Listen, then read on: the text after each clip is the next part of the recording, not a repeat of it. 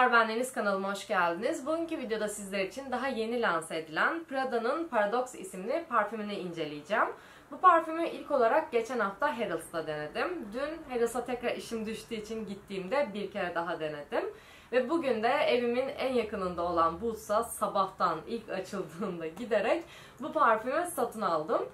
Bu parfüm nasıl kokuyor, notaları nasıl, kalıcılık süresi nasıl bu videoda hepsinden sizlere elimden geldiğince bahsetmeye çalışacağım. Eğer bu tarz parfüm videolarından hoşlanıyorsanız bu videoyu beğenip kanalıma abone olursanız beni çok mutlu etmiş olursunuz. Kanalımda ağırlıklı olarak bunun gibi parfüm videoları var ve aynı zamanda moda ile ilgili de videolar yayınlıyorum. Umarım hepsini keyifle izleyip bu güzel ailemize siz de katılırsınız. İsterseniz hemen parfümü anlatmaya başlıyorum. Prada'nın Paradox parfümü en küçük olarak 30 mililitre, sonra 50 mililitre, 90 mililitre şeklinde satılıyor ve aynı zamanda tekrar doldurulabilir bir şişe olduğu için 100 mililitrelik böyle body spray'e benzer bir ambalajda tekrar parfümü satın alıp bu şişelere dolum yapabiliyorsunuz. O şekilde 4 boyut halinde satılıyor. Bu benim elimdeki 30 mililitrelik en küçük boyutu çünkü çok fazla parfüm var. O yüzden büyük boy almayı artık bıraktım. Ve şişesi de Prada'nın zaten sembolü olan üçgen şeklinde bir şişesi var. Bu zaten Prada'nın kendi sembolünün aynısı. Üçgen içerisinde Prada yazması tüm kıyafetlerinde, ayakkabı ve çantalarında da uyguladığı bir sembol. Bunu hemen parfümün şişesine yansıtmışlar. Bence mantıklı olmuş çünkü şu sıralar bu üçgen şeklindeki sembolünü her ürününde kullanıyor. Bu şişe iki şekilde düşünüyorum. Bir seviyorum, bir sevmiyorum. Bir lüks parfüm şişesi olarak düşünürseniz, bir niş parfüm şişelerine bakarsanız bu biraz ucuz kalıyor. Ancak bir designer ürünü olarak bakarsanız ve bir sembol olarak bakarsanız yine de tatlı bir şişesi var diyebilirim. Bu 30 mililitrelik küçük boyunda şekli tam anlaşılmıyor ve biraz komik duruyor. Ancak 90 mililitrelik büyük boyundaki şişesi gerçekten güzel. Şeklini iyice anlayabiliyorsunuz ve en azından mantıklı. Bu şekilde makyaj masanızda rahatlıkla sergileyebilirsiniz. Bir Lancome'un idol parfümü gibi yerinde duramayan incecik bir şişesi yok. Şişesi gayet kalın ve bu şekilde durabiliyor. Parfümün kokusuna gelecek olursak eğer parfümü ilk sıktığınızda çok güçlü bir koku hissediyorsunuz. Bu alkolle karışmış bir koku. Biraz alkolün verdiği güçlülük de var ancak yine de öz itibariyle parfüm zaten çok güçlü olan bir parfüm. İlk sıktığınızda buram buram mandalina kokusunu hissediyorsunuz. Çok net bir şekilde turunçgil kokuları burnunuza geliyor. Ancak bir asidik bir turunçgil kokusu değil. Bergamotla birleşmiş ferah bir turunçgil kokusu ancak tatlılaşacağını parfümün zaten ilk saniyeden beri hissetmeye başlıyorsunuz. Direkt ferah olan bir parfüm şeklinde açılsa da parfüm hemen tatlı yanını da belli ediyor. Üst notalarında parfümün mandalina ve bergamotun yanında aslında armut da kullanılmış. Ancak bir armut tatlılığı yok bu parfümde. Armuttan gelen bir tatlılık da yok. Armut biraz kendini hissettiriyor başlangıçta ancak çok güçlü bir nota şeklinde kullanılmamış. Parfümde ilk açılışta çok yoğun bir şekilde Sadece mandalinayı ve yanında da bergamotu hissediyorsunuz. Bu parfümü yine bir Lancome'un idol parfümü gibi düşünmeyin. Onun içerisindeki armut notası çok sulu, meyveli, şekerli olan ve parfümün kalıcılık süresi boyunca kendini hissettiren bir armut notası iken bunun içerisindeki armut notası evet başlangıçta biraz kendini hissettiriyor ancak çok sulu, çok şekerli değil. Sadece mandalina ile biraz birleşmiş, biraz o şekilde hissediyorsunuz ancak parfüme çok da bir katkısı yok. Evet parfüm ilk açıldığında ferah bir turunçgil şeklinde açılıyor. Yine tatlı yanını belli eder şekilde açılıyor. Ancak bu parfümün tatlı yanı armuttan değil tamamen alt notalardan geliyor. Parfümün orta notaları ise tamamen beyaz çiçeklerle kaplı. Portakal çiçeği, yasemin, neroli çiçeği ve neroli esansı kullanılmış. Parfümü ilk sıktığınızda hepsini hissediyorsunuz. Ancak parfüm teninizde kuruduğunda bir 3-4 saat geçtiğinde en çok kendini hissettiren orta notası portakal çiçeği notası.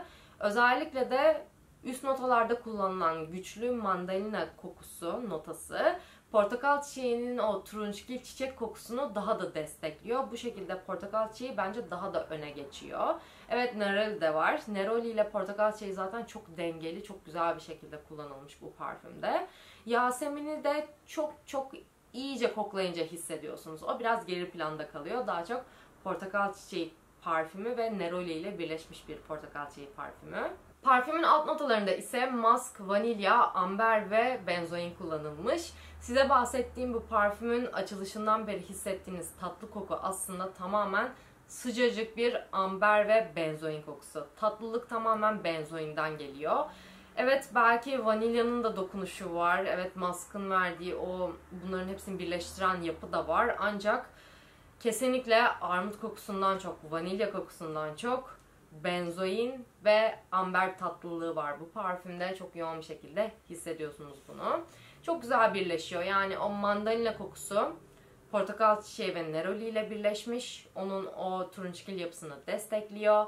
Ve en sonunda da benzoin ve amberle de parfüm tamamen ısınıyor ve çok net, çok güzel bir koku ortaya çıkıyor. Parfümü geçen hafta ilk kokladığımda, ilk izlenim olarak yalan söylemeyeceğim. Beni çok fazla büyüleyen bir parfüm olmadı. Çok özgün bulduğum bir parfüm olmadı. Ancak kokusundan da uzaklaşmadım ve kokusu benim beynimde yer etmişti. Geçen hafta sadece bileğime sıktım ve dün tekrar koklayana kadar parfümün kokusunu çok net bir şekilde hatırlıyordum. Her parfümde bunun olması mümkün değil. Bazı parfümler o kadar sıradan oluyorlar ki ve performansları da çok düşük olduğunda özellikle sıkıyorsunuz 5 dakika sonra parfüm kolunuzda daha yeni olmasına rağmen kokuyu hatırlayamıyorsunuz. Tekrar kokluyorsunuz 5 dakika sonra tekrar unutmuşsunuz.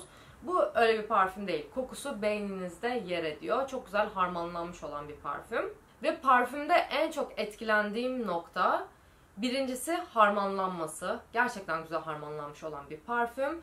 Evet yine sentetik yanını hissediyorsunuz parfümün ama çok da kötü bir şekilde yapılmamış bu. Yine benzoin özellikle parfümü çok güzel bir araya getiriyor. O kokusunu çok sevdim ve mandalina kokusu da çok güzel bir şekilde kullanılmış. Çok asidik değil, çok fazla yoğun ferahlık içermiyor ancak o tatlı notalarla da çok güzel birleşmiş. Harika bir mandalina dengesi de var bu parfümde. O yönünü de çok sevdim. Ve ikinci sevdiğim en güzel özellik ise performansı inanılmaz güzel. Bu 30 mililitre aldım ancak eminim bana çok uzun süre yetecek. Çünkü iki fıs sıkıyorum bir buraya bir buraya bazen de koluma sıkıyorum ve ee, sonbahar ayları gelmesine rağmen havalar şu an 15 derece soğudu. Dışarıda sıktım bu parfümü. Bugün sabah aldım. Hemen sıktım buzdan çıkar çıkmaz ve e, başka mağazalara da uğradım. Ona rağmen kokusunu çok yoğun bir şekilde hissediyorsunuz. Yani ben buradayım diyen bir parfüm. Eve geldiğimde hala hissediyordum. Şu an tekrar duştan sonra tekrar sıktım ve şimdi tekrar çok yoğun bir şekilde parfümü hissediyorum. Yani sizi kaplıyor. Eminim çevremdekileri de kaplıyordur. Çünkü yoldan geçerken böyle birkaç kişi baktı bana. Hani bu koku ne acaba diye baktıklarına eminim. Çok yoğun olan bir parfüm. Yayılımı çok güçlü, kalıcılığı çok güçlü. Performans olarak çok iyi. O anlamda parasını hak eden bir parfüm bence.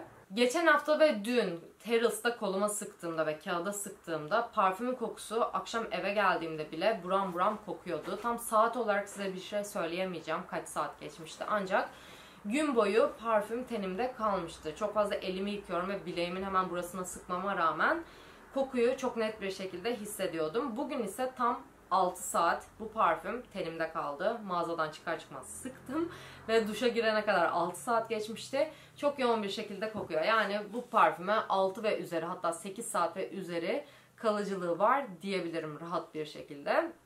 Çünkü banyo yapmasaydım eminim bu parfüm daha da kalacaktı tenimde. Çok güçlü bir şekilde duruyordu hala. O anlamda parasını hak eden bir parfüm. Sıcak, benzoinli, amberli bir turunçgil parfümü. Kendisi ne farkı var Deniz mesela Armani'nin My Way parfümünü sevmemiştin diyeceksiniz. O parfüm birincisi performans olarak çok kötüydü. Çok vasat bir parfüm o anlamda. İkincisi parfümün kokusu bir türlü beynimde yer etmiyordu. Söylediğim o parfümler gibi. Yani sıkıyorsunuz kesinlikle beynimde yer etmiyor o parfüm. Öyle bir parfüme de aşık olan beni hiç etkilememiş demek oluyor o. Ee, ve harmanlanması da çok kötü olan bir parfümdü. En azından bu parfüm evet çok özgün bulmuyorum. Çok geniş kitlelere hitap eden bir parfüm. Herkesin beğenisine açık olan bir parfüm. O amaçla yapılmış bir designer markanın yaptığı designer bir parfüm. Ancak performansını iyi yapmışlar, harmanlanmasını iyi yapmışlar ve sonbahar aylarına da yakışabilecek. Bu şekilde mesela 30 mililitre alırsınız, 2-3 ay kullanırsınız ve bitirirsiniz. Bu parfümü hala çok çok sevdiyseniz gider alırsınız ya da yeni bir parfüm çıkar o zaman tekrar onu denemek için tekrar alırsınız. Genelde burada benim fark ettiğim o. En azından The Parfum Shop ya da Fragrance Shop'a gittiğimde İngilizlerin yaptığı bu oluyor genelde ya da İngilizler demeyeyim burada yaşayan insanların yaptığı bu oluyor. Yeni parfüm çıktığında çok heyecanlanıyorlar. Gidiyorlar mağazaya deniyorlar. Küçük boyunu ya da artık ekonomik boy hangisi oluyorsa onu alıyorlar. Onu kullanıp birkaç ay bitirip ondan sonra yeni çıkan diğer parfümü alıyorlar. Yani bu şekilde de yapmayı düşünebilirsiniz. Eğer çok bir imza parfüm arayışınız yoksa, yeni parfümlere merakınız varsa bu parfümü bu şekilde küçük boy alıp kullanıp bitirip eğer sevdiyseniz bir daha alırsınız ya da o zamana kadar yeni filankeri çıkar ya da başka bir marka başka bir şey çıkartır.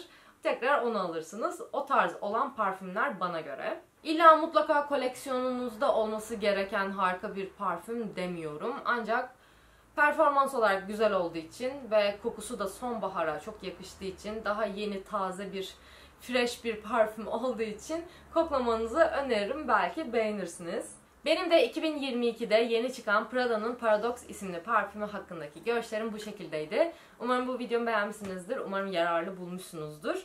Siz bu parfümü denediniz mi? Sevdiniz mi? Sevmediniz mi? Aşağıda bana yorum olarak yazarsanız sevinirim. Kendinize çok iyi bakın. Bu videoyu beğenip kanalıma abone olmayı unutmayın. Ve benden hangi yeni çıkan parfümü incelememi istersiniz? Aşağı yorum olarak yazarsanız sevinirim. Ee, Gucci'nin yeni çıkan yine bu Gorgeous Gardenia parfümüne benzeyen bu sefer turkuaz renkte olan tam adını hatırlayamadım parfümünü ben Bafa gittiğimde denemiştim. O parfümü de beğendim aslında. Onu da incelemesini yapmayı düşünüyorum. Benden onun incelemesini duymak, görmek, izlemek ister misiniz? Aşağı yorum olarak yazarsanız sevinirim. Kendinize çok iyi bakın. Hoşçakalın.